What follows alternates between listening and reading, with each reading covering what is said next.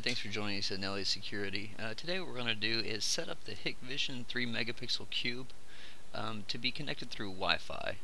Uh, first what you want to do is make sure that your camera is plugged in using an Ethernet cable.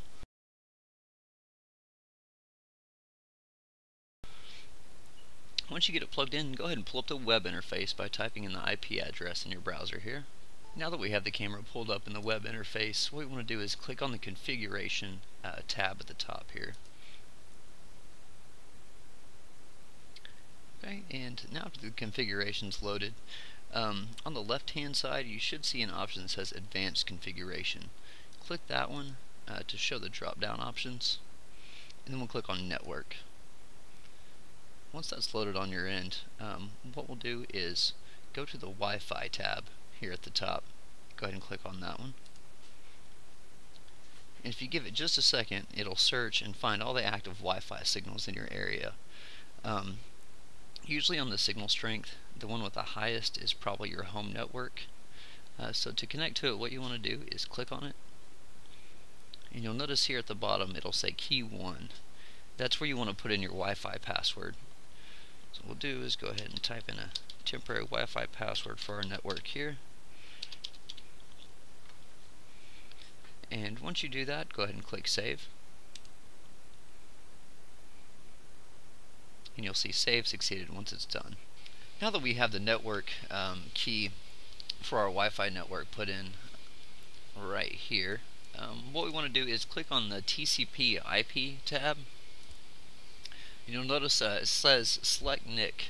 Um, what we'll do is click the drop down box and select WLAN, which is wireless LAN.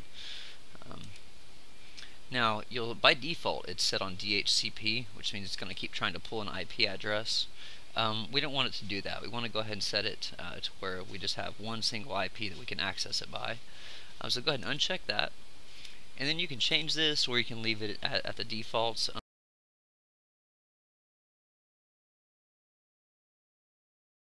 Now, once you get that added, um, you'll want to put in your default gateway here. Ours is 192.168.1.1. Once you're done inputting your uh, IP address and your default gateway, go ahead and click Save. And you'll see Save succeeded if everything went through good. Now that we have an IP address assigned to the wireless side of the camera, um, what you can do is go ahead and unplug the Ethernet cable from the back of the camera.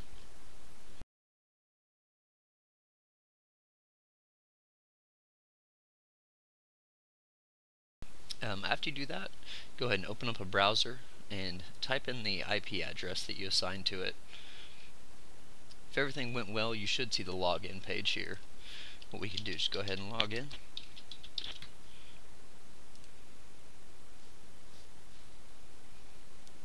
And you'll notice here uh, we're getting a live view off of the wireless connection on the camera.